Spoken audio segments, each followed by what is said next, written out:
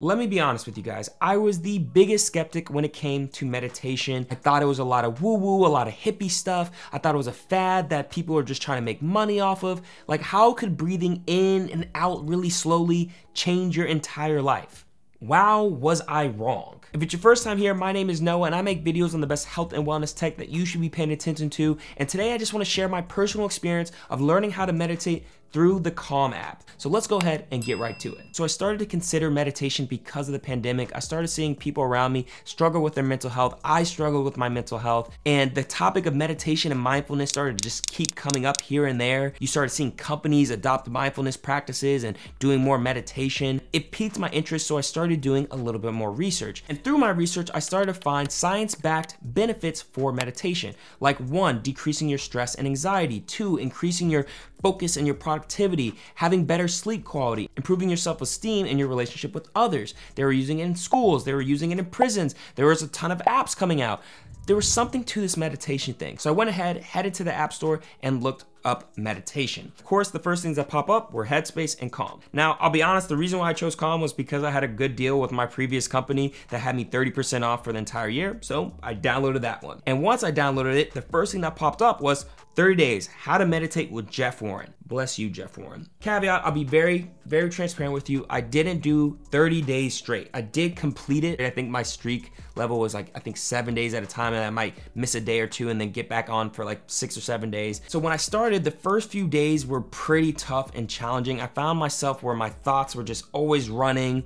It was hard to focus on my breath. Sometimes I would try to focus on my breath, but then think, am I focusing on my breath too much?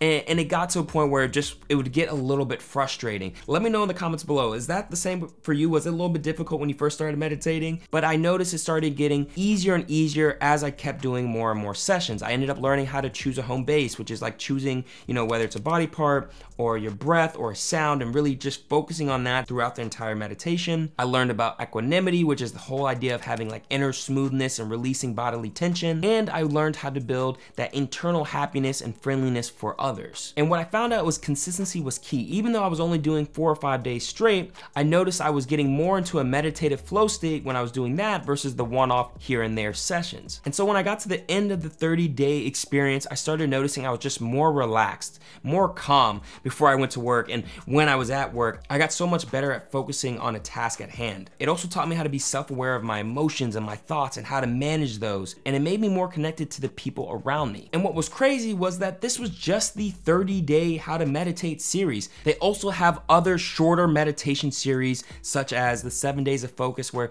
the whole idea here is really concentrating on prioritizing, getting rid of digital distractions. They also have a relationship series which the whole idea here is thinking about how can you de-escalate conflict? How can you manage your emotions when you are arguing? And honestly, Calm is more than just a meditation app. They have a self-reflection feature where basically each day you have daily reflection prompts that you can kind of put in your personal experience of how you're feeling. They have your gratitude check-ins, which I really love, where every day you can write three things that you're grateful for, and I think that's an amazing practice to keep doing. They have specific sessions on improving your sleep, things such as sleep stories, where they have people like Matthew McConaughey, Harry Styles, the homie from Bridgerton, read you stories to help go to sleep. They have background sounds that you could choose from. I think they have something from Dune. They have relaxing music that you can go to sleep to. The whole idea here is to just calm your mind of any type of running thoughts before you go to sleep. That's like a big thing. A lot of people are saying like, my mind is racing, I can't go to sleep. Their sleep sessions are the best at helping to tackle that. They also have high profile guest sessions. One of my favorites are the LeBron James mental fitness, where basically it's all about grit and inspiration and how can you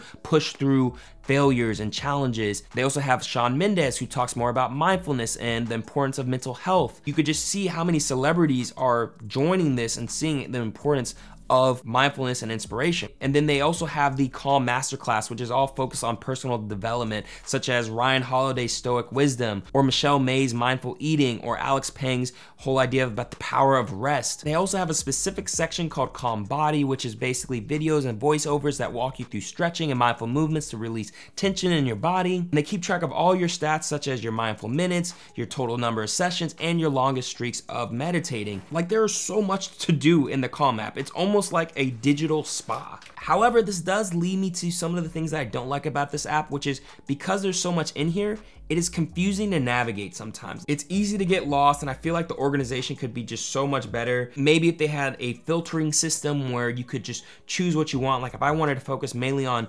meditation and sleep, I could remove music or calm body. Like it just can be a lot to see at once and to kind of sift through. But overall, I'm sold meditation works. I truly think it will help you lower your stress levels, improve your concentration, make you more present, encourage you to be more kinder and calm, no pun intended. But in all honesty, nothing but positive things to say about this app. This video has not been sponsored by Calm, but if you're interested, I'll put a link in the description box below where you can download the app and get access to their seven day free trial. And then I think after that for the premium service, it is $70 a year. And look, even if you don't download Calm, at least look into practicing some sort of meditation in whatever way works for you. It has changed my life and I truly think it will change yours as well. I hope this video was helpful. If it was, go ahead and compile that like button, subscribe if you haven't already, and as always, stay healthy and embrace the hype.